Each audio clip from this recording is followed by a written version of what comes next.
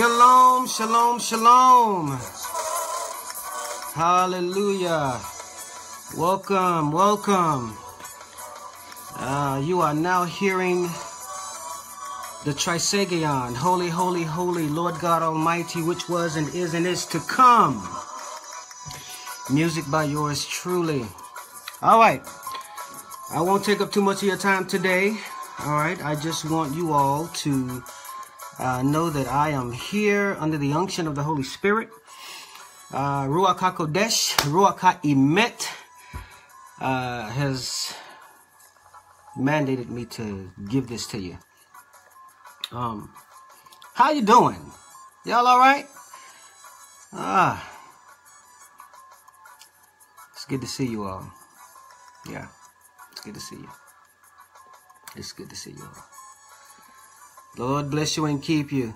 Hello, hello. Tikia Fowler, Linda Plummer, Victor Shauna Skinner. How you doing, Latrice Rayner? I see y'all. I see you. Come on in. I got some great stuff for you. Yes. Well, without further ado, ah, here we go. Now, let's get this party started. Okay, first I come to you in the name of the Lord Yeshua HaMashiach, who is Jesus the Messiah, uh, and in the name of his Father, our Father, one God, one Lord. Uh, his name is Yahweh, Yahweh Elohim. And it is by Ruach HaKodesh and Ruach HaEmet that I am here before you today. Listen, real quickly, I got some great things to share with you. And uh, just so you know, you know, this is a closed group, okay? So you don't have a share option. But if you find this video to be share worthy, if you find this information to be something that everybody needs to hear, uh, if you think it will bless someone, free someone, enhance or enlighten someone, um, I will open the group up and I will keep it open throughout the weekend uh, to give you time to share it. All right. So after this broadcast, I'm going to open up the way and make it public so that you all will have the opportunity to press the share button if you like. Okay. Uh, I know some of you are committed to not sharing. so we're talking to those who don't mind sharing. Okay. So uh, without further ado, gotta let you know what the Lord is saying. Um,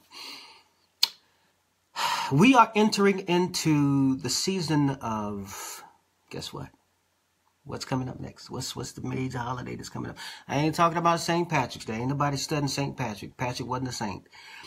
I'm talking about what you know to be Easter, Ishtar, Astarte, Ashtaroth, Eastern Star, Easter, uh, properly called Pesach in the Hebrew, or Passover in the English. So as we come upon Pesach, or Passover, uh, I want you all to know that uh, I don't come in my own name, first of all. I don't come with my own personal opinions, second of all. Uh, if you subscribe to the page, great. If you don't, fine. Either way, you know, we're going to go forward.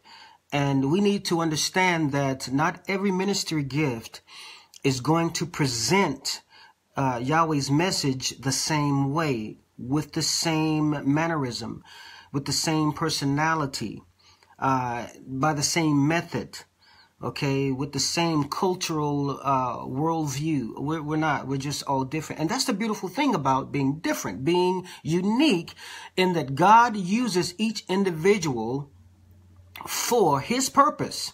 He uses each individual, your, your personality, your, your uh, idiosyncrasies, all these things that make you you and make me me he uses those things to bring forth truth, to bring forth uh, emet, all right, by the spirit of emet, all right. So um, I know Uh, you know, sometimes, you know, uh, I am so misunderstood. I, I think people just, if you would read my post, and I'm talking to all of you, okay? But if you would read my post and read it, really read it, okay, before you comment, okay? Make sure you read it, okay? And if I have scriptures posted on the post, please look the scriptures up and read them and understand them before you make a comment, all right? Okay, do that, all right? Do that. So, that out of the way. God bless you, all of you. And uh, let's get into it real quick, all right? Because I'm going to let you go in a few minutes. Pesach. Like my blessed apostle, Apostle Edwin Von Newsom, and Apostle Catherine Newsom uh, of Impact Church Goldsboro, I am not a holiday preacher, but I am a holy day preacher. Did you catch that? I don't preach the holidays because holidays, European holidays, the American holidays, they all, they all are drenched in and soiled and marinated in paganism, in false worship, in idol worship. And, uh, the roots are satanic. So I don't get into that. Okay. But Yahweh is calling his ecclesia, the called out ones, in whom dwells his Malkuta, his kingdom. He's calling us to pure, true, pure, true, pure, true worship. Now listen, I didn't come to tear down what you do in your church. I didn't come to rain on your parade. I didn't come to judge you or criticize you or point a finger. No, I come with great news. I come with great news. Oh my God, arise, shine, because the light has come. I ain't talking about me because I ain't the light. The light is in me, but I'm not the light, and I'm not the only one who has the light. You got the light. But I do have a message, and my message is not like everybody else's, as you well know. Okay, I, I don't sound like a lot of folk. And that's because I don't idolize or follow or worship a lot of folk. Any folk. But I idolize and worship Yahweh. He is my God. Yeshua is my elder brother. And it's the words that are in this Bible from Genesis to Revelation that I preach, teach, and follow, live, and meditate on. And I want to give you that same hunger. I want to whet your appetite so that you'll know that true worship exceeds and transcend what you were taught in your church, what you grew up believing. That's really not true. All right. Pesach versus Easter. Okay. You know what? Do your research, okay? Because, you know, for a long time, I have spoon fed and handheld a lot of folk. And instead of looking stuff up, people will ask me questions, you inbox me questions. Look, the internet has everything you need, okay? Uh, you got bookstores. Use your resources, okay? On the way, you got so many resources. I provided books, links, all types of stuff. Go look it up for yourself. Do your own research. Stop asking folk. Go do your own research. Now, if you want to bounce uh, some stuff off of me after you've done your research, if you want to make sure that you're in the right lane or you just want to get some confirmation or clarity, by all means ask because I am willing to listen. I'm willing to help. But, okay, go do your own research. Look some stuff up for yourself. Stop being lazy and be a student, be a pupil, be a Talmudim, a disciple, a disciplined one. Discipline yourself and research. Discipline yourself and study. So the information I'm going to give you right now, I want you to not take my word for it, but go and discipline yourself. Be a disciple, a Talmudim. Be a disciplined one, one who is focused and have an urgency, a sense of urgency about you that you will go and look some stuff up for yourself because you want firsthand information.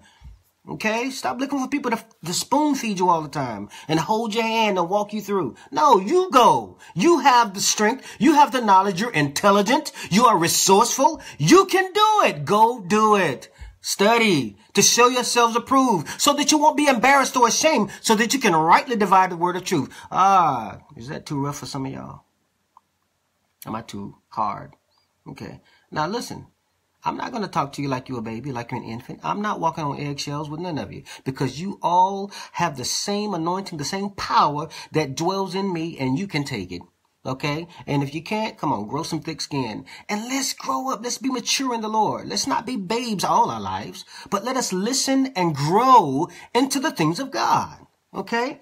Now, we know, and you should know, that Easter, East Star, Ishtar, Astarte, Ashtaroth, you hear what I'm saying, right?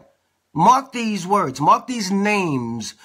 Go do some research because I've already given it to you in previous posts, in previous uh, videos, in previous lessons and transcripts. You have this information at your disposal on the way. So go do your research, all right? And if you're wondering how to find this stuff, whatever you need, just go to the search bar in the way. Go to the group in the way. Look in the search bar, put the uh, cursor there, and type in a word that you're looking for and it will come up in the way. Okay? So go look some stuff up. So, Pesach, what is that all about? Let's get to it. All right. First of all, uh, true worship, the way we're supposed to be worshiping, uh,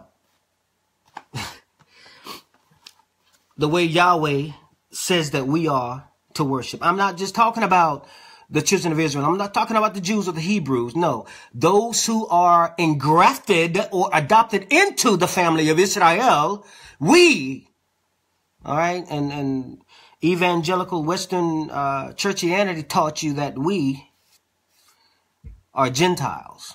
Well, that's not true. Okay. If you followed me for a minute, you know who you are. Okay. You know that that's not true.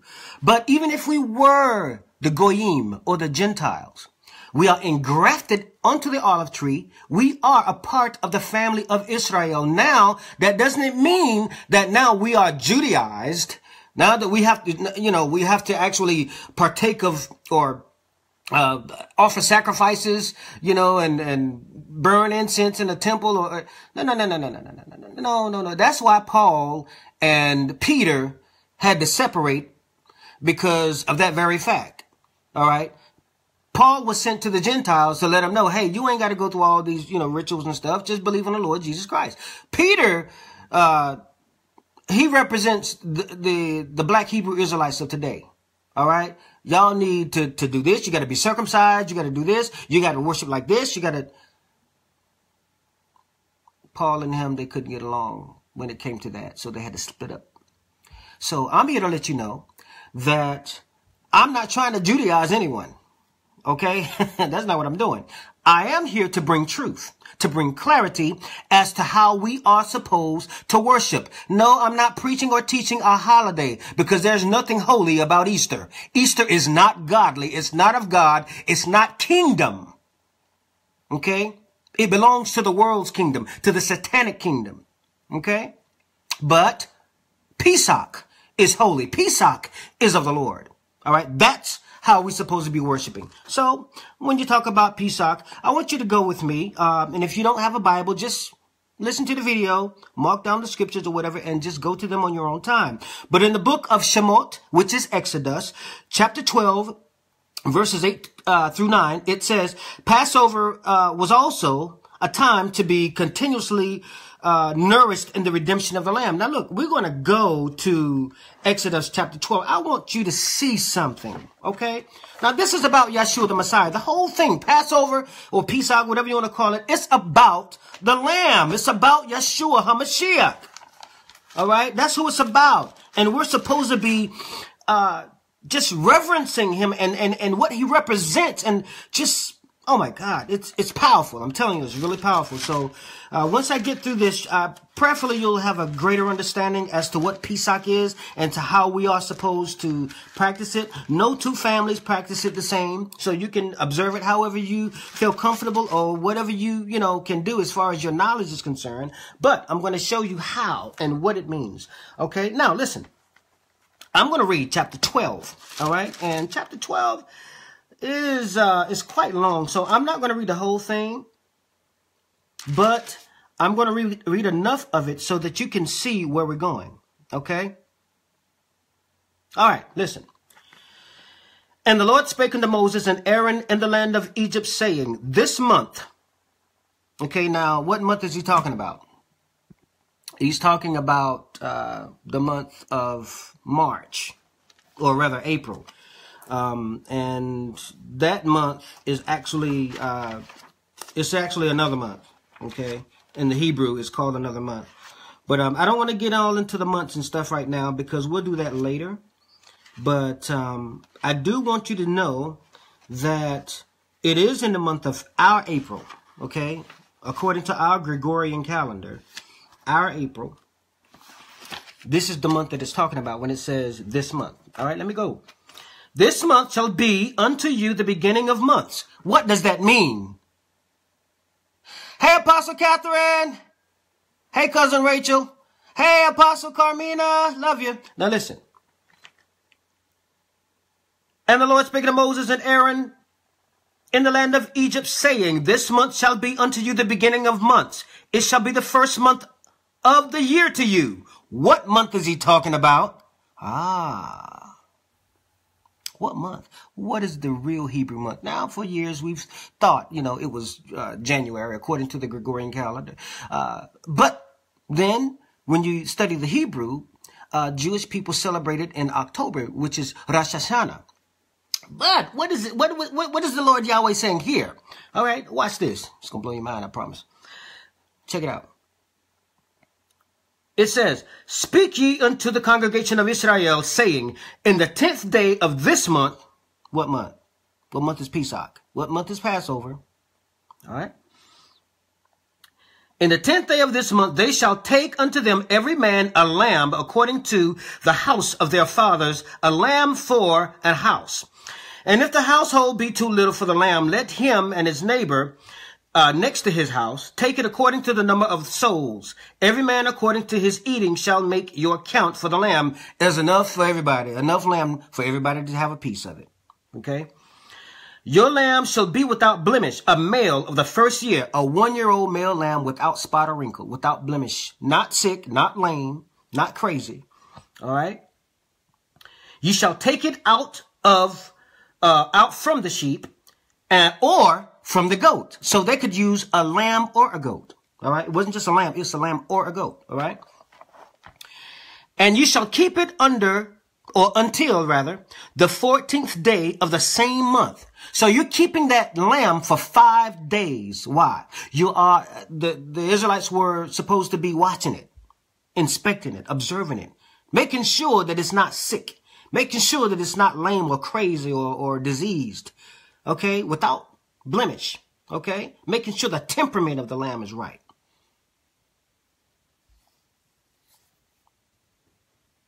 Y'all listening? Okay. Uh, before you make your sacrifice, you need to be inspecting your sacrifice to make sure it's up to par. Okay? All right. That's that's a message for another day. All right, listen. And you shall keep it unto the fourteenth day of the same month, and the whole assembly of the congregation of Israel shall kill it in the evening. And they shall take of the blood and strike it on the two side posts and on the upper doorposts of the houses wherein they shall eat. So wherever you eat your Passover lamb or your Passover Seder, um, you got to put lamb's blood, the lamb that you killed, all right? Every household was supposed to have a lamb. Every household was supposed to keep that lamb for five days. Every uh, household is supposed to observe that lamb to make sure that it's without blemish for five days. And then it says on the 14th day, you got to kill it. All right. And, and, you know, if the lamb is too small, uh, for the lamb or the, the household, you know, it's, it's enough for everybody to go around. Everybody shall take a piece of that lamb. Okay. And then you take the blood of that lamb in the house wherein you're eating, and you're putting blood on the on your doorpost. The doorpost where what today's what doorpost? Not your house, not your physical house, your literal house, but the doorpost of your heart, the doorpost of your mind, your souls. All right, putting blood. What is that? Life. All right. All right. Oh my God, are you following me? So listen. And they shall eat the flesh in that night, roast with fire Okay, roasted lamb or roasted goat. Lord knows I love my curry goat. But I'm telling you, they were eating good on Passover. Check this out. And unleavened bread. Unleavened bread. What is unleavened bread? Bread that is baked without yeast, without chametz. Okay? In, in, in, in the Hebrew, it's chametz. Chametz is that which causes to rise or swell. Okay? That which makes uh, a, a, a, a dish or a drink to ferment. That which causes fermentation. All right? And during the Passover, the Jews, the Hebrews were commanded, read your law, were commanded to get any form of chametz out of the house. Matter of fact, they had to go through their whole house and clean their house of yeast, clean their house of anything that would make swole or the cause to rise. They had to get that stuff out of the house during this feast, during the celebration. They could not have anything in the house. No yeast in the house, period. Okay. Why? Because chametz or yeast or leaven symbolizes pride. It symbolizes that which causes you to swell up and be puffed up and rise. That which is unclean. That which is unkosher. All right. So let's go on. And with bitter herbs they shall eat it. Now, why the bitter herbs? Because the bitter herbs symbolized the bitter pain that the Israelites endured while enslaved in Egypt during those 400 some odd years. And if you really, really know who you are, then the bitter herbs will not only serve to remind us the bitter bondage that the Israelites of that time suffered, but will also remind us of the bitter bondage that our ancestors suffered again during the Atlantic slave trade in the land of Egypt, the modern Egypt, today's Egypt, America. Okay, now, the very first thing that I mentioned was the lamb or the goat. Now, what does that symbolize? I know I kind of skipped over that one, but I saved that for last because I want to really accentuate that one. The lamb represents Yeshua HaMashiach. That was a promise which was to come. The lamb who would deliver the children of Israel and the whole world from sin and death. So there are three things and I'm almost done. Can you believe it? Almost done. Three things that I want to talk about, okay, during Pesach, all right, during our celebration of Passover, okay. Remember, in the very beginning, I'm going to read that first verse again because some of y'all didn't get it. Check it out. And the Lord spake unto Moses and to Aaron in the land of Egypt saying, this month, what month are we talking about? What month are we referring to? He's talking about Pesach. He's talking about Passover. Now, that in English or in modern terms translate Easter. So what month is Easter? It's April, isn't it? All right, keep that in mind. So let's go to verse 2, chapter 12 of Exodus. Again, this month shall be unto you the beginning of months. Ain't that powerful? Powerful, ain't it? Hmm. Yeah, so it's really not October. Hmm, yeah, I thought so too, but it's not. All right, check it out. It shall be the first of months or the first month of the year to you. Who is he talking about? Who is he talking to? He's talking to the children of Israel. He's talking to his chosen people, those who are a part of his family in his kingdom and grafted onto the olive tree. All right, I just had to go and, and read that again. Okay. Hello, Mother Faye. How you doing? All right, listen, real quickly. Three things during Passover, and I'm going to correlate them to the natural things and to our modern day life, okay? The bitter herb. The bitter herb remind us of the purpose of redemption, okay?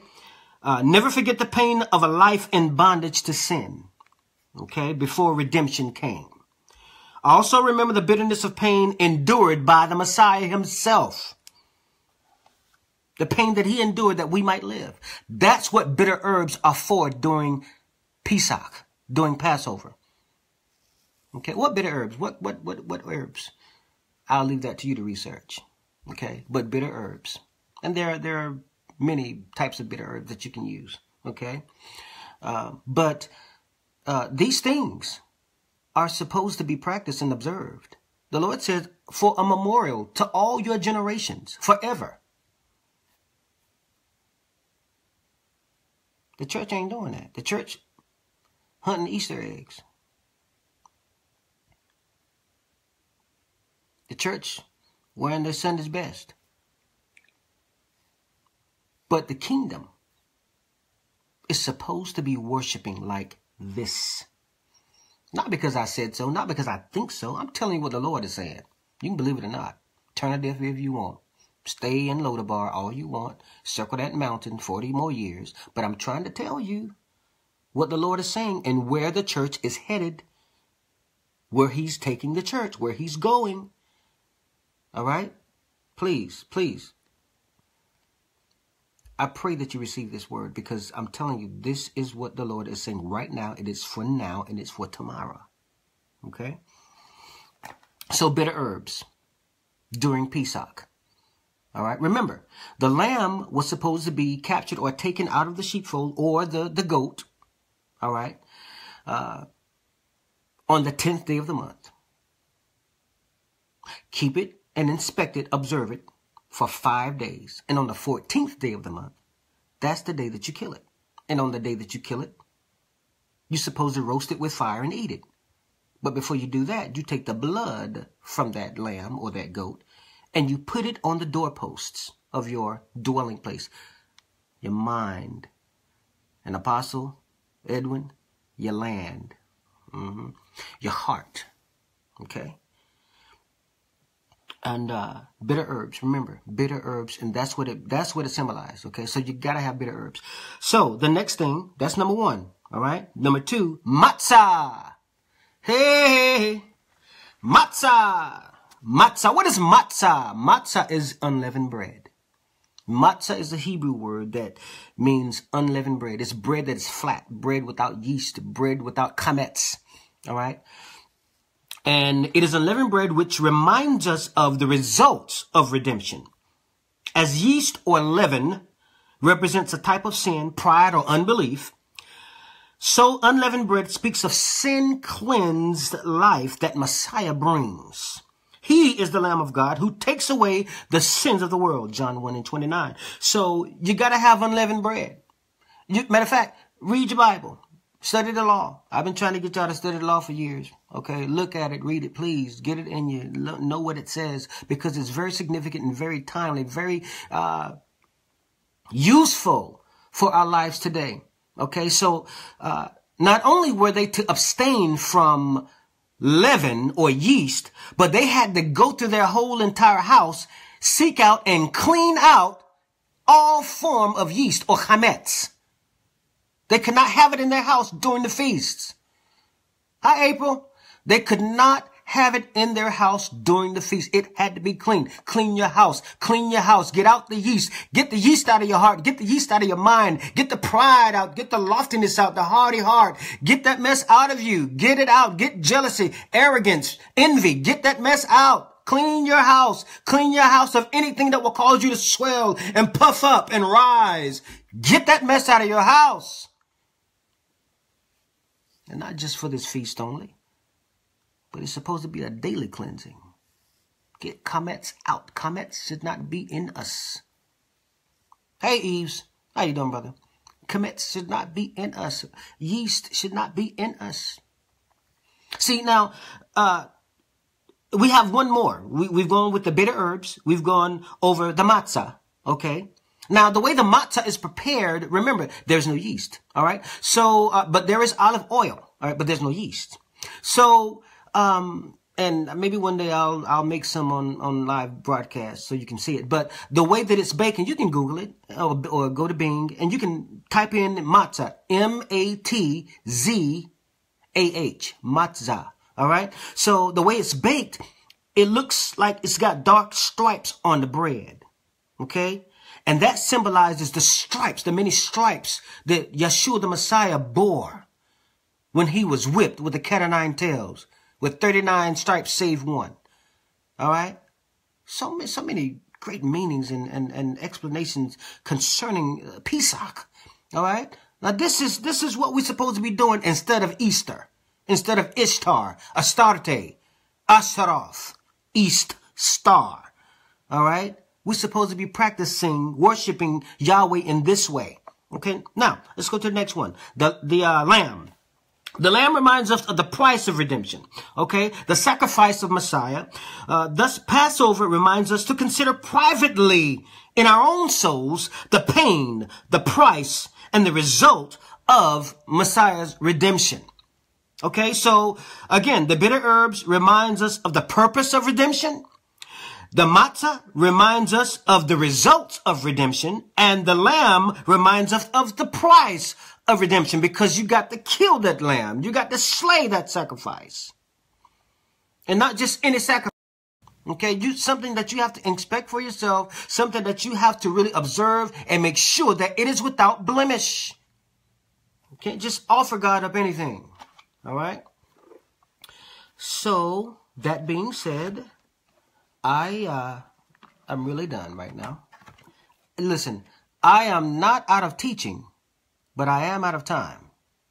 So, uh maybe uh, one of these days soon I'll come back and then I will actually expound or exegete um, and go through the whole uh, Pesach or a whole Seder, you know, service.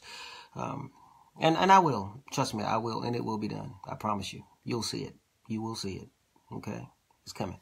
But uh, I pray and I, I, I just hope um, that you all have gained a better understanding about Passover and Pesach. Because what it means is we are celebrating and remembering our ancestors and how the Lord God, Yahweh, Elohim, brought us, He took us by the hand and led us out of Egypt. Our parent, our, our, our, our forefathers, okay? Uh, you know, our great, great, great, great, great, great, I mean, as, as far as you can remember, I mean, I'm telling you, we are tied by blood, by actual blood DNA lineage to the land of Israel. But if we were not, and we were believers in the kingdom, this is how we worship. This is a holy day, a holy feast day, a holy feast time, a time of observance, a time of participation the way Yahweh set it up back then. And you're saying to yourself, but that's under the law. Well, if that's under the law, stop tithing if that's under the law. Okay. Well, law, uh, tithing is pre-law. Yeah, right. Do your research. Read your law. Okay. I can go on and on about that law versus grace thing, but I want you to understand, okay, that this wasn't something that was, uh, organized or ordained for the nation of Israel back then, thousands of years ago. He said, Yahweh said, this will be a memorial for all generations. A memorial.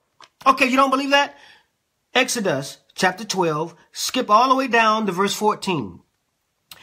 And this day shall be unto you for a memorial. And ye shall keep it a feast to the Lord throughout your generations. That means forever. The death, burial, and resurrection of Yeshua the Messiah did not change this. Okay? Ye shall keep it a feast by an ordinance forever. I'm talking about true worship here. True worship. All right? True worship.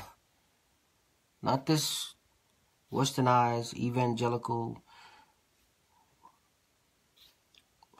I don't care if your so-called man or woman of God is doing something different. Follow them if you want to, and they ain't following this right here. You're going to be standing before God saying, Lord, but I did this in your name and I did that. And he's going to say, no, depart. I used to, I used to, uh, you know, just think it was like really, really I couldn't understand how there would be so many people, even elect, the chosen, even those who were so powerful and anointed and did so many great things would stand before God and God would tell them to depart because I don't know you. How is that possible? I understand why now. I really do. I understand. Because there is a way that seems right unto man, but the end thereof is death. And we are following all these people and trying to keep up with all these other things, you know, whatever floats your boat. But I'm trying to tell you, we need to stay in the book and we need to study and find out what the truth is because Ruach HaKodesh, Ruach HaEmet, the Spirit of Truth, the Holy Ghost is speaking right now. It ain't got nothing to do with me, all right? Because he speaks through you too. But when it comes to worship, when it comes to true worship, when it comes to feast days and holidays and holy days, we're not supposed to worship as the world worship. We're not supposed to participate in the way the world worships. Okay. I think that horse is dead, so I'll just put my stick down. All right. The Lord bless you and keep you. The Lord make his face to shine upon you and be gracious to you. The Lord lift up his countenance to you and give you shalom. The Lord bless you and keep you. I love you all, and I pray that you have uh, gained some insight about Pesach. Okay, so like I said before, uh, although this is a closed group, uh, for for those of you who don't mind sharing someone else's teaching, those of you who are not insecure or not in competition, for those of you who are not bitter or you know who are walking in disbelief I'll give you an opportunity to share this video. So I'll open the group up for you. And uh, I'll let it, you know, I'll just let it remain open throughout the weekend. And then I'll close it back at the top of next week on Monday morning. I'll close it back. So uh, right now you don't have an option to share. But when this broadcast is over, I will open it up so that you can share it if you feel that other people need to hear this. If you feel that this message is indeed coming from the throne of Yahweh. All right. So uh, the Lord bless you. I, I, I love y'all. I miss y'all. You know, I mean, I pop up. You know, I'm in the way. You know, and um, like I said, as far as being on the main timeline, nah, y'all can have that. Okay, y'all y'all can have that because mm, nah, and this is not a mandate from God. This is me. This is all me. But uh, as far as the way, I will pop in every once in a while and drop in some nuggets and just to check on you, see how you're doing. But uh, I love you. And uh, I will be talking to you all later. Shalom.